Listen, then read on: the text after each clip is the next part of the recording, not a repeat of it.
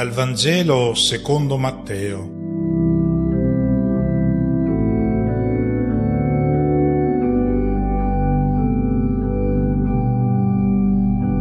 Una buona domenica a tutti. C'è una concezione del peccato diffusa e molto pericolosa che io colgo spesso quando durante un corso biblico oppure nell'omelia, nella celebrazione eucaristica, accenno alla verità centrale del Vangelo, la bella, la grande notizia che soltanto i cristiani annunciano nel mondo, non le altre religioni. E questa grande e bella notizia è l'amore incondizionato di Dio per ogni suo figlio, anche per il più disgraziato, per colui che ha sbagliato tutto nella vita. E quindi anche alla fine, dopo una vita fallimentare, Dio accoglierà comunque ogni suo figlio fra le sue braccia. Questa è una verità innegabile che noi cogliamo nel Vangelo e il figlio di Dio è venuto in questo mondo proprio per annunciarci questa bella notizia. Eppure non a tutti piace questa bella notizia, difatti spesso dopo gli incontri c'è sempre qualcuno che si presenta e dice ma allora se Dio non punisce, non la fa pagare a coloro che peccano, allora anch'io comincio a godermi la vita. Bravo. Qui sta la concezione pericolosa, errata del peccato, cioè che il peccato sia qualcosa di bello, che ti riempie di senso e di gioia la vita, ma purtroppo Dio lo ha proibito, però alla fine te la fa pagare. Bene, non devi avere paura di Dio, alla fine non te la fa pagare, tranquillizzati. Chi te la fa pagare adesso, qui, ora, è il peccato. Ti devasta come persona, ti disumanizza, ti può dare un momentaneo piacere, ma è come la droga, che ti offre un momento di ebbrezza, ma poi ti riduce a una larva umana. Questo è ciò che ti fa il peccato, non Dio. Ecco la ragione. Per cui il Signore che ti ama ti mette in guardia, ti segnala ciò che non devi fare, perché alla fine tu ti ritrovi meno uomo. Prova a pensare a cosa ti riducono la violenza, l'adulterio, il furto, la menzogna. Ti fanno crescere come uomo o ti fanno regredire? Tu cerchi la gioia, la felicità, questa pulsione ce l'ha messa Dio Tieni presente, se non segui le preziose indicazioni che il Padre del Cielo ti dà, tu sarai sempre fuori strada, non raggiungerai mai la meta a cui aspiri. Il termine ebraico per dire peccato si dice hatta, che significa Scagliare una freccia, ma con un arco allentato, prova a immaginare di scagliare una freccia con un arco allentato. Tu la scagli, ma non arrivi al bersaglio, cade prima, non lo raggiungi. Ecco ciò che tenta di fare colui che pecca, puntare alla gioia, ma sbaglia. E c'è un segno provvidenziale che ti dice che hai sbagliato. Il dolore il peccato lascia sempre la bocca amara perché noi siamo fatti bene, siamo fatti per la gioia. E quando uno pecca qualcosa si inceppa dentro di lui e c'è il dolore. E questo dolore magari si cerca di anestetizzarlo eh, con distrazioni, evasioni, interessi effimeri, sono tutte droghe resta sempre l'infelicità di fondo quando tu pecchi. Eccolo il pianto e stridore di denti, il dolore perché se tu riesci a ritagliarti un momento di silenzio, ti togli quelle benedette o maledette cuffie con cui ti stordisci con queste musiche e non hai paura di ascoltare il tuo intimo, tu senti che comportandoti in modo diverso da ciò che ti suggerisce la parola di Dio, tu stai decretando il fallimento della tua vita non Dio che ti punisce alla fine, adesso ti distrugge il peccato. E questa è la catechesi che dobbiamo fare a figli, nipoti. Non dire Dio ti punirà alla fine, oggi tu stai buttando nell'immondezzaio la tua vita se non segui ciò che ti suggerisce la parola di Dio. Quindi il peccato non fa del male a Dio, lo nota bene Giobbe, se tu pecchi che male fai a Dio? Se moltiplichi i tuoi delitti, gli rechi forse qualche danno? Il peccato quindi nuoce a chi lo fa. E poi naturalmente ha delle ripercussioni drammatiche anche su altri fratelli che vengono toccati da questi errori. E quindi non parliamo più di un Dio che castiga l'uomo, che Dio sarebbe se a un figlio che si è già fatto del male di suo, lui aggiungesse anche la punizione. Questo modo di proiettare in Dio il nostro modo di fare giustizia è blasfemo. Dio ne esce davvero male con un volto mostruoso. Finiamola con queste immagini diaboliche di Dio risentito che castiga chi trasgredisce i suoi comandamenti. Quindi un Dio che si placa solo se gli chiedi scusa. E nei Vangeli mai Gesù dice di chiedere perdono a Dio, perché Dio non è toccato dal nostro peccato, è toccato il suo amore per noi, perché lui soffre nel vedere che siamo andati fuori strada, ma il peccato distrugge noi. Adesso mettiamo in conto le nostre fragilità, perché tutti facciamo l'esperienza di questo peccato, perché tutti noi in certi momenti non ci fidiamo della parola di Dio, preferiamo seguire il serpente che è dentro di noi e i suggerimenti di questo serpente. Difatti c'è il detto ogni santo ha un suo passato e ogni peccatore ha un suo futuro. Umili quindi nel riconoscere le nostre fragilità e comprensivi anche eh, con le fragilità dei fratelli. Adesso la domanda, che fa Dio quando un suo figlio si allontana da lui? La risposta noi la troviamo nel versetto che non c'è nel brano evangelico di oggi, ma che si trova immediatamente prima di quello che noi ascolteremo quest'oggi. Voglio farvelo ascoltare. Sentiamo. Il Padre vostro celeste non vuole che si perda neanche uno solo di questi piccoli. Cosa accade a una mamma quando il figlio si ammala fisicamente o moralmente? Si preoccupa per recuperarlo immediatamente alla salute, quando anche fosse per colpa sua che si è ammalato, non le interessa più. Lei vuole un'unica cosa, che lui torni alla vita. È una pallida immagine quella della mamma per farci capire quanto il Padre del cielo che ama infinitamente i suoi figli, è preoccupato di recuperare al più presto suo figlio alla gioia. E quando riesce a riportarlo sulla retta via, che cosa accade? In cielo cominciano a far festa. Dice la prima lettera a Timoteo, Dio nostro Salvatore non vuole altro che questo che tutti gli uomini siano salvati e giungano alla conoscenza della verità, siano salvati, non che entrino in paradiso alla fine, no, lì entrano tutti, che siano salvati subito oggi, perché è qui che devono essere felici. E come attua?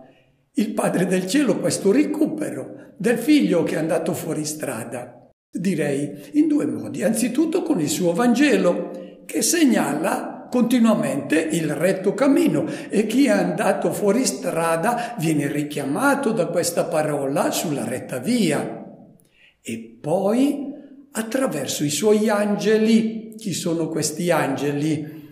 eh, non quelli con le ali, no. Gesù adesso parla ai suoi angeli molto concreti. Angelo nella Bibbia indica chiunque è mediatore delle premure, delle attenzioni, delle tenerezze di Dio per i suoi figli. Dio ha questi mediatori che pone accanto a ognuno dei suoi figli e ci interessano questi angeli perché è proprio a loro che oggi Gesù si rivolge per indicare come devono procedere, quali passi fare per recuperare il fratello che è in difficoltà. Sentiamo il primo suggerimento che Gesù dà a questi angeli. Se il tuo fratello commetterà una colpa, va e ammoniscilo fra te e lui solo. Se ti ascolterà, avrai guadagnato il tuo fratello. Qui Gesù non fa un discorso generico sui doveri reciproci, no, si rivolge direttamente a ogni figlio di Dio con il tu. Se tuo fratello commette una colpa, non se ti ha fatto un torto, ti ha offeso, no, tu non c'entri, a te non ha fatto proprio niente. Qui è lui che sta facendo del male a se stesso, non a te. Cosa sei chiamato a fare? Il peccato non è una sventura che casca addosso, è un male che uno va a cercarsi, che uno si sceglie e allora si può arrivare a dire peggio per lui se l'è andata a cercare, io non c'entro, io mi faccio i fatti miei. Se tu pensi e parli in questo modo, tu non sei un angelo. Se ami tuo fratello che è in difficoltà, non puoi più vivere tranquillo perché è in gioco la sua vita. Troppo spesso.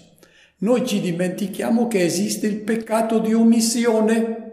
Se tu puoi fare qualcosa per il tuo fratello che è andato fuori strada e non lo fai, tu sei responsabile della sua rovina.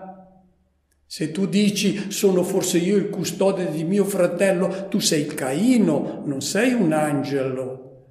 Fa attenzione perché se per colpa tua e del tuo disinteresse il fratello si perde, non ti libererai facilmente del rimorso per tutta la vita perché Dio ti ha fatto bene, ti ha fatto per essere un angelo accanto al fratello. Come muoversi? C'è un errore molto diffuso e che va assolutamente evitato, quello di diffondere la notizia, l'errore che è stato commesso. Questo si chiama spettegolare questo è il peccato di diffamazione che può essere un omicidio. Serve solo a emarginare chi ha sbagliato, a umiliarlo, a farlo inutilmente soffrire. Qualcuno pensa che per aver detto la verità lui può mettersi il cuore in pace c'è gente che è affetta addirittura dalla patologia dello spettegolamento. Stiamo alla larga da queste persone, perché se tu li ascolti, poi ti coinvolgono e poi li sentirai che hanno spettegolato anche di te. Stai attento, dice il libro del Siracide. Un colpo di frusta produce lividure, un colpo di lingua spezza le ossa nella mia lingua, nella mia terra, traducono eh, questo detto del Siracide con un proverbio. La lingua non ha ossa, ma le spezza. La verità che non produce amore e gioia non va detta può uccidere un fratello, può rovinare una famiglia, può incrinare un rapporto di coppia. Ancora il Siracide, hai udito una chiacchiera, muoia con te, tienila dentro di te, sta sicuro che non ti fa scoppiare. Che cosa fare? Dice Gesù, tu va da solo a trovare tuo fratello, tu e lui solo, e cerca di convincerlo che si sta facendo del male, il verbo elenche in, greco, convincilo. Questo primo tentativo è il più delicato, il più difficile, perché se va male le cose si complicano.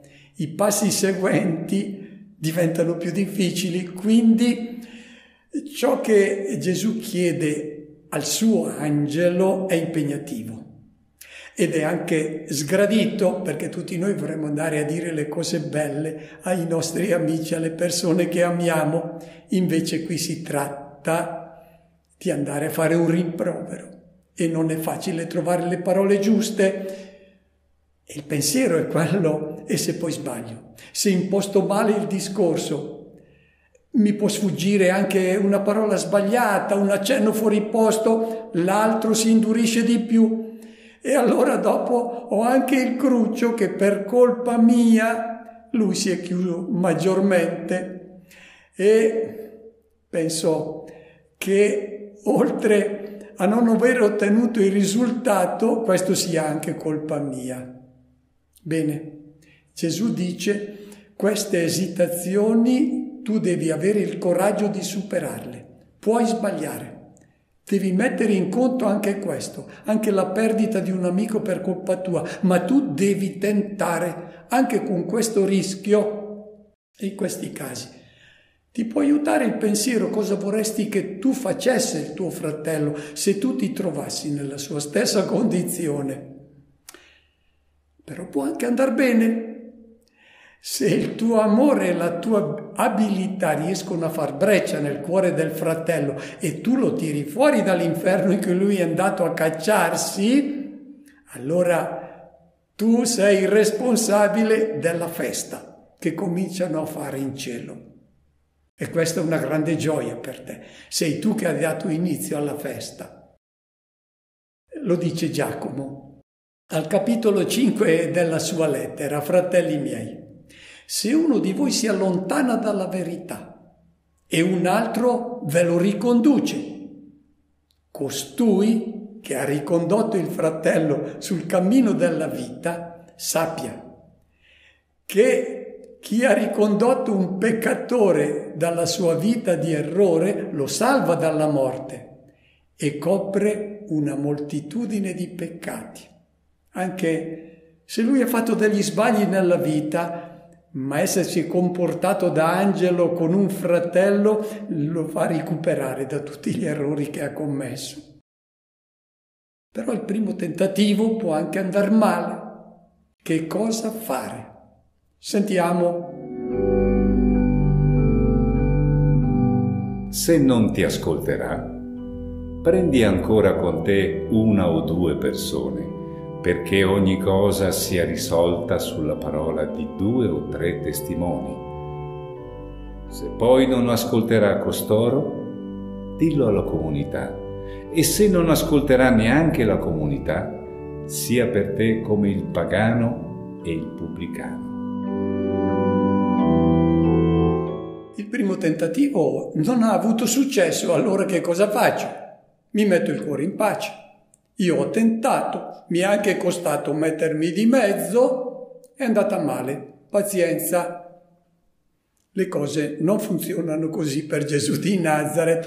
Se tu ami il fratello, tu non lo puoi abbandonare al suo destino. E Gesù ti suggerisce il secondo passo da fare. Non è bastato un angelo, ce ne vogliono due, forse anche tre. Infatti Gesù dice, trova un amico o due stimati dalla persona che è in difficoltà e poi andate insieme a trovarlo. Attenzione, non deve avere l'impressione che lo volete mettere alle strette, umiliare, condannare, no, lui deve percepire che ha a che fare con tre angeli, tre amici che sono venuti a trovarlo perché lo stimano, gli vogliono bene che lo difenderebbero se sentissero qualcuno che spettegola in loro presenza, lo levano da terra, lo mettono a tacere in malo modo e poi anche davanti alla comunità. Loro lo difenderebbero, testimonierebbero che è una persona di grande valore, adesso è un momento di difficoltà ma ha buone disposizioni. Ecco, può andare bene, è difficile, Ma può avere successo questo secondo tentativo e allora ricomincia la festa in paradiso. Può andare male. E allora c'è il terzo passo da fare ed è suggerito da Gesù. Dillo alla Chiesa alla comunità, perché il cristiano non è un individuo isolato che vive la sua spiritualità, la sua pratica religiosa pensando a se stesso, no, è un membro della comunità inserito nella Chiesa col battesimo. E tutta la Chiesa quindi è coinvolta nella salute di questo membro malato e deve intervenire. È pensabile però che la comunità si proponga di liberarsi al più presto di questo elemento di cui si vergogna, che lo scomunichi a causa delle sue idee, dei suoi discorsi antievangelici o dei suoi comportamenti immorali. No. Nessun cristiano può mai arrivare a dire ma che si arrangi, che se ne vada per la sua strada, che si tiri fuori dai piedi e si arrangi. No, mai queste espressioni, perché la Chiesa è l'ultimo intervento, il più forte per recuperare il fratello. Si può quindi arrivare anche ad adoperare parole dure, ma non per punirlo, per fargli prendere coscienza della sua condizione in cui si è andato a cacciare.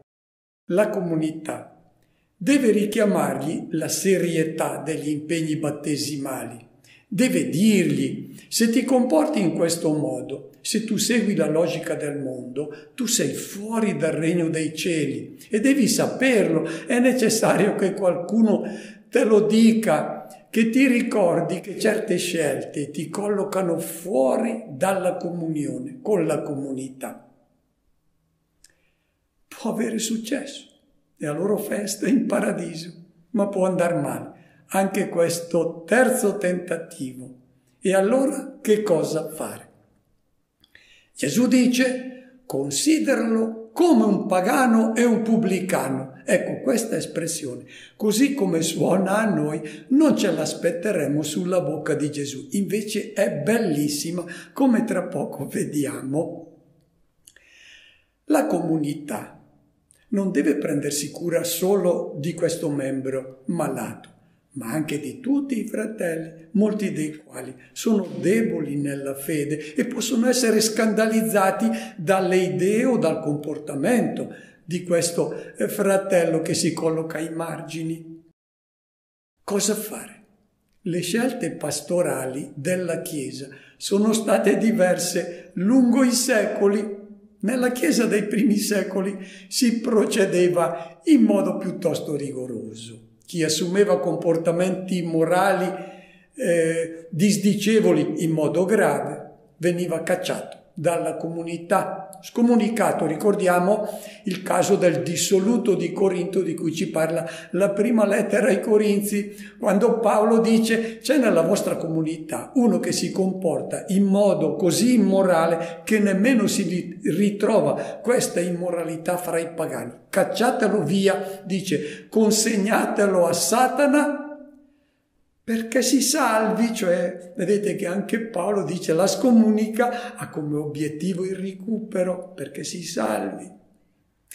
Così pure, se qualcuno falsifica il Vangelo, va ripreso pubblicamente. Nella lettera a Tito dice l'eretico dopo una o due ammonizioni, espellilo.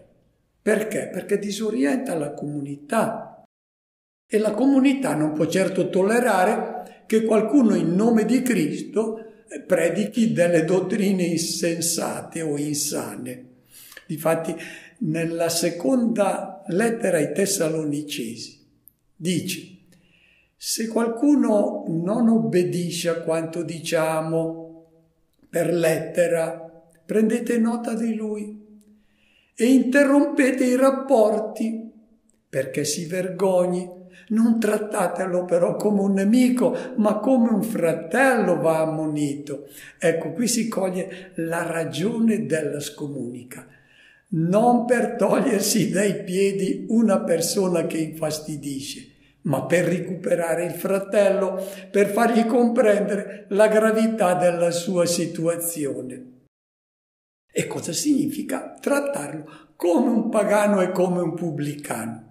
Beh, noi sappiamo come gli scribi e i farisei avevano tagliato i ponti con i pagani che consideravano e chiamavano cani e con i pubblicani che ritenevano la feccia della società gente immonda, destinata alla perdizione. Questo era il modo come trattavano pubblicani e peccatori i farisei, gli scribi, non Gesù. Gesù non si rapportava così con i pagani e i pubblicani. Lui era chiamato l'amico dei pubblicani e dei peccatori. E si raccomanda di trattare questo fratello che è in difficoltà. Come si trattano i pubblicani e i peccatori lui intende dire come li tratto io, i pubblicani e i peccatori, non gli scribi e i farisei.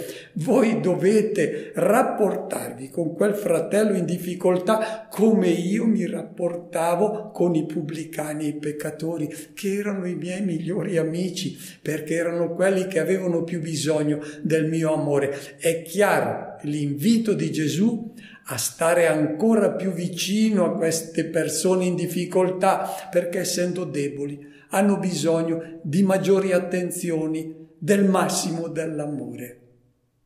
E ora ascoltiamo le raccomandazioni che fa Gesù alla comunità.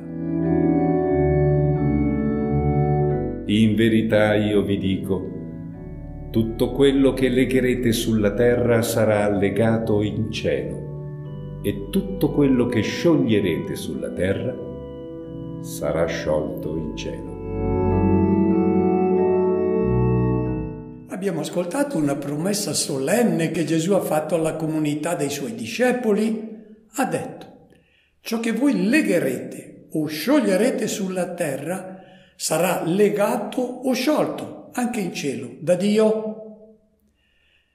Legare e sciogliere era il linguaggio con cui i rabbini intendevano l'autorità di decidere ciò che è lecito e ciò che è proibito, ciò che è conforme alla Torah ciò che è proibito dalla Torah, ciò che è giusto, ciò che è sbagliato, ciò che si può, ciò che non si può fare. Questo lo decidevano i rabbini, erano loro che legavano o scioglievano. Adesso dice Gesù, questo diritto di dichiarare ciò che è lecito, ciò che è evangelico, ciò che è proibito, ciò che è anti-evangelico, ce l'ha tutta la comunità dei miei discepoli. Gesù ha già fatto a Pietro questa promessa. Adesso sta dicendo che questa responsabilità non è solo di Pietro, del Papa, delle gerarchie ecclesiastiche, no, questa responsabilità è di tutta la comunità dei discepoli. Tutta la comunità, mossa dallo Spirito, deve saper discernere fra ciò che è evangelico e ciò che è contrario al Vangelo. E l'umanità è in diritto di aspettarsi dalla voce di questa comunità ecclesiale l'indicazione su ciò che umanizza e ciò che disumanizza una persona, ciò che è conforme e ciò che è difforme dalla parola del Maestro. È una grande responsabilità che ha la Chiesa, perché può essere aperta alla voce dello Spirito, ma può anche chiudere le orecchie a questa voce e aprire invece le proprie orecchie ai suggerimenti del maligno, alla voce della mondanità. E allora la Chiesa, invece di annunciare la verità, potrebbe annunciare la menzogna che le è suggerita dal maligno, dalla logica di questo mondo, come purtroppo sappiamo è capitato tante volte nella storia della Chiesa. E allora coloro che si aspettano la voce di verità dalla Chiesa vengono portati fuori strada, la ritenevano depositaria del Vangelo e della parola di Gesù di Nazareth, invece aveva chiuso le orecchie e il cuore a questa voce e le aveva aperte invece alla logica, alla sapienza di questo mondo.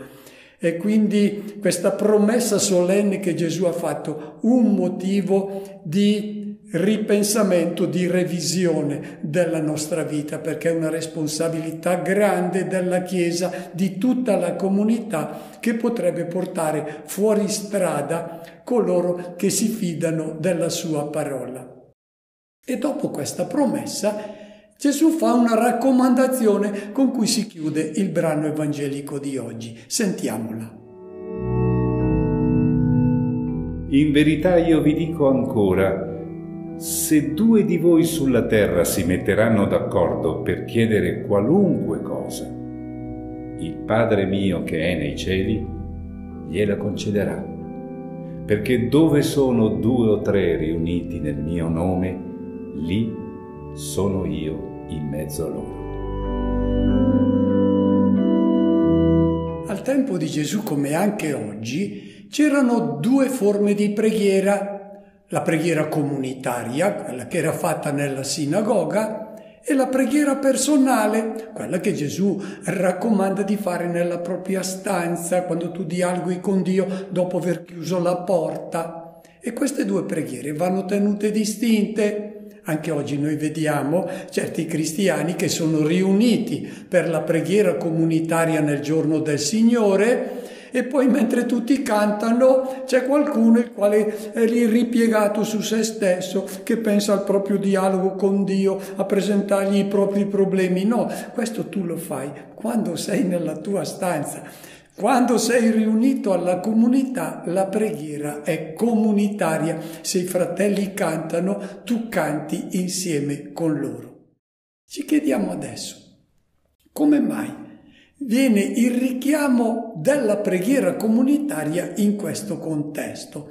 La prima ragione è che la comunità si trova a dover risolvere il problema di un fratello che è andato fuori strada, che non vive secondo il Vangelo. È nella preghiera, dice Gesù, che la comunità si sente unita e disponibile a fare le scelte giuste, quelle che suggerisce il Signore e il Signore ti parla proprio quando sei in questi momenti di preghiera e la comunità è mossa e ascolta insieme la voce dello Spirito. E ancora, è nella preghiera comunitaria che si chiede al Signore la luce per saper discernere fra ciò che va legato e ciò che va sciolto, perché la tentazione potrebbe essere quella di ascoltare il ciò che fanno tutti, ciò che tutti decidono come, che deve essere legato o che deve essere sciolto. No, la comunità cristiana nella preghiera ascolta la voce dello Spirito e allora decide in modo che è confermato anche in cielo ciò che è giusto e ciò che è sbagliato. Se non prega, la comunità finisce inevitabilmente per dare indicazioni errate, quelle dettate dalla logica della mondanità.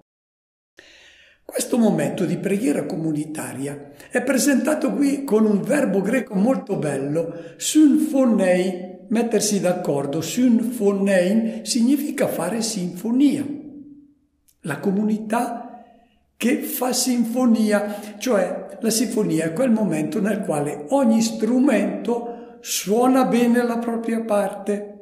Fare sinfonia nella Chiesa non significa che tutti devono suonare lo stesso strumento, no, non siamo uguali. Il buon Dio ci ha fatti diversi per fortuna, perché proprio perché siamo diversi possiamo suonare bene ognuno il nostro strumento nell'unico spartito che è quello dell'amore. È l'armonia di questa comunità il miglior richiamo per il fratello che si è allontanato e deve sentire questo fratello la nostalgia di questa comunità dove tutti fanno sinfonia, suonano lo spartito dell'amore, si scambiano reciprocamente il servizio dell'amore. Concludendo, Gesù assicura che la preghiera fatta così sarà certamente esaudita.